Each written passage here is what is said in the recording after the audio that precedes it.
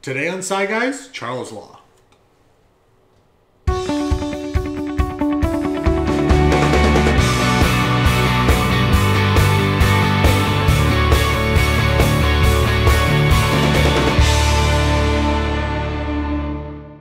Welcome to Sci Guys. I'm Ryan. And I'm Mark, and welcome to part two of our series on the laws of gases, Charles Law. Under temperature, do do do do do do do do do do.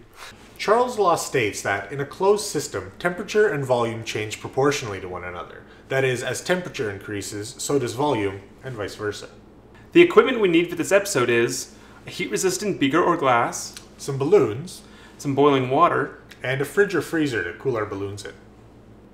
In this experiment, we're going to be using boiling water, so for safety reasons, we highly recommend the use of goggles, temperature resistant gloves, and an apron or lab coat to protect from spills and splashes.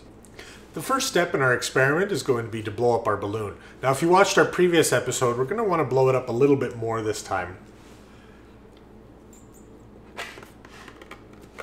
Like so. I'm just going to tie it off like so. There you go. The next step in our experiment is to pour boiling water into our glass beaker. Place your balloon into the beaker. In our first attempt at this experiment, we used a water balloon in boiling water. As the water balloon sits on top of the boiling water, it gradually increases in size. There's only one problem with a water balloon. They tend to pop because of their small size.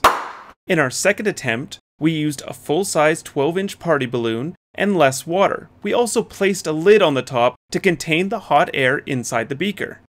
In this version of our experiment, we see a more dramatic change in the balloon's size, as well as a much lower risk of the balloon popping.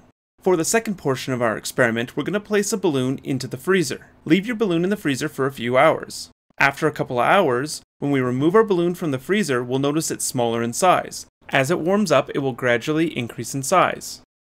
Let's look at this experiment a little closer. Charles' gas law states that when a fixed amount or mass of an ideal gas is kept at a constant pressure and in a closed system, then its temperature and volume are directly proportional. What this means is when temperature increases, volume increases, or as temperature decreases, volume decreases. As we mentioned in our last episode, an ideal gas is a theoretical gas composed of a set of randomly moving, non interacting particles. Under normal conditions, many gases such as oxygen, hydrogen, and some heavier gases like carbon dioxide will behave like an ideal gas. This means they follow the laws of gases such as Charles' law. In our experiment, our balloon is filled with gaseous air molecules. When the balloon is placed in the beaker with boiling water, the energy from the higher temperature water and steam molecules transfer to the lower temperature air molecules inside our balloon, exciting them. When the air molecules in our balloon are excited, by raising their temperature, they spread further and further apart, increasing the volume of space they take up. The higher the temperature or the more energy the air molecules get, the larger our balloon will grow, or in other words, the greater the volume of space our gas will take up. If we remove our balloon from the hot water, the air molecules inside our balloon will gradually lose the energy they've been given, dropping back to room temperature, causing the balloon to shrink in volume back to its original size.